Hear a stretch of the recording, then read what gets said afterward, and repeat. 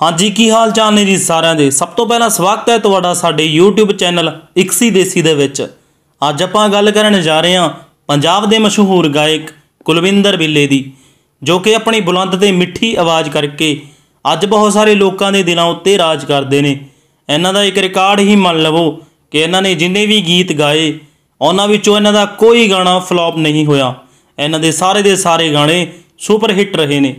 ਇਹੀ ਕਾਰਨ ਹੈ ਕਿ ਇਹਨਾਂ ਦੇ ਫੈਨਸ ਦੀ ਗਿਣਤੀ ਅੱਜ ਲੱਖਾਂ ਕਰੋੜਾਂ ਵਿੱਚ ਹੈ। ਪੰਜਾਬ ਦਾ ਅਜਿਹਾ ਕੋਈ ਬੱਚਾ ਜਾਂ ਨੌਜਵਾਨ ਨਹੀਂ, ਜੋ ਕਿ ਕੁਲਵਿੰਦਰ ਬਿੱਲੇ ਨੂੰ ਨਾ ਜਾਣਦਾ ਹੋਵੇ।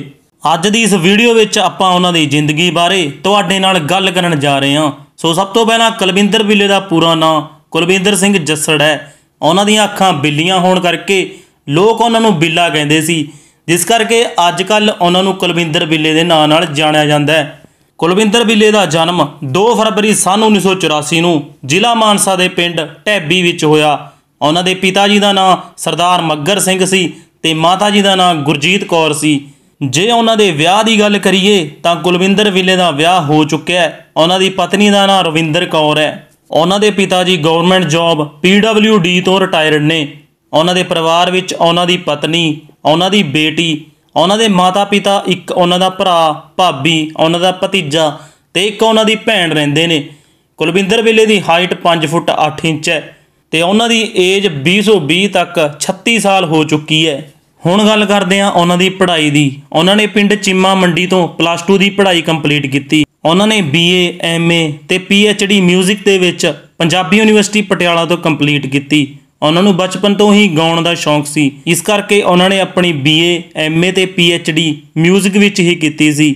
ਉਹਨਾਂ ਨੇ ਰਵੀ ਨੰਦਨ ਜੀ ਤੋਂ ਮਿਊਜ਼ਿਕ ਸਿੱਖਿਆ। ਰਵੀ ਨੰਦਨ ਜੀ ਉਹਨਾਂ ਦੇ ਗੁਰੂ ਸਨ। ਸਕੂਲ ਕਾਲਜ ਟਾਈਮ ਉਹ ਅਕਸਰ ਯੂਥ ਫੈਸਟੀਵਲ ਵਿੱਚ ਪਾਰਟਿਸਿਪੇਟ ਕਰਦੇ ਹੁੰਦੇ ਸੀ। ਯੂਥ ਫੈਸਟੀਵਲ ਵਿੱਚ ਉਹਨਾਂ ਨੂੰ 골ਡ ਮੈਡਲ ਵੀ ਮਿਲਿਆ।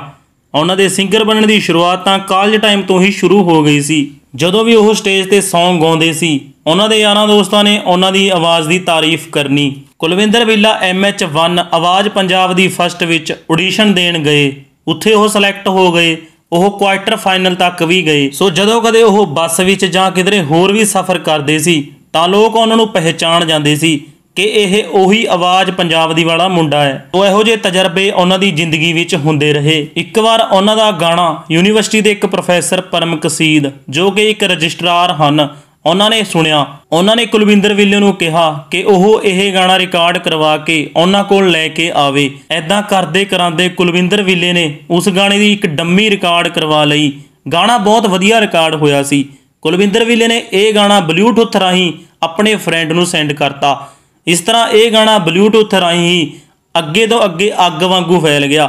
ਲੋਕਾਂ ਨੂੰ ਗਾਣੇ ਦੀ ਆਡੀਓ ਬਹੁਤ ਪਸੰਦ ਆਈ, ਪਰ ਲੋਕਾਂ ਨੂੰ ਇਹ ਨਹੀਂ ਸੀ ਪਤਾ ਲੱਗ ਰਿਹਾ ਕਿ ਇਹ ਗਾਣਾ ਗਾ ਕੌਣ ਰਿਹਾ ਹੈ। ਤਾਂ ਫਿਰ ਕੁਲਵਿੰਦਰ ਬਿੱਲੇ ਨੇ ਆਪਣੇ ਯਾਰਾਂ ਦੋਸਤਾਂ ਦੀ ਮਦਦ ਨਾਲ ਫੋਟੋਆਂ ਲਗਾ ਕੇ ਇੱਕ ਵੀਡੀਓ ਤਿਆਰ ਕਰਕੇ ਗਾਣਾ ਲਗਾ ਕੇ ਵੀਡੀਓ ਕਲਿੱਪ YouTube ਉੱਤੇ ਅਪਲੋਡ ਕਰ ਦਿੱਤੀ। ਇਸ ਵੀਡੀਓ Song ਨੂੰ ਲੋਕਾਂ ਨੇ ਬਹੁਤ ਪਸੰਦ ਕੀਤਾ ਤੇ ਇਸ ਗਾਣੇ ਉੱਤੇ 2 ਲੱਖ ਤੋਂ ਵੱਧ ਵਿਊ ਹੋ ਗਏ ਸੀ। ਇਹ ਗੱਲ 2007 ਦੀ ਹੈ। ਉਸ ਟਾਈਮ 2 ਲੱਖ ਵਿਊ ਬਹੁਤ ਜ਼ਿਆਦਾ ਹੁੰਦੇ ਸੀ। ਉਹਨਾਂ ਦੇ ਇਸ ਗਾਣੇ ਦਾ ਨਾਂ ਸੀ ਕਾਲੇ ਰੰਗ ਦਾ ਯਾਰ। ਇਸ ਗਾਣੇ ਦੇ ਹਿੱਟ ਹੋਣ ਨਾਲ ਇੱਕ ਕੰਪਨੀ ਵੱਲੋਂ ਕੁਲਵਿੰਦਰ ਵਿੱਲੇ ਨੂੰ ਐਲਬਮ ਕਰਨ ਦੀ ਆਫਰ ਆਈ।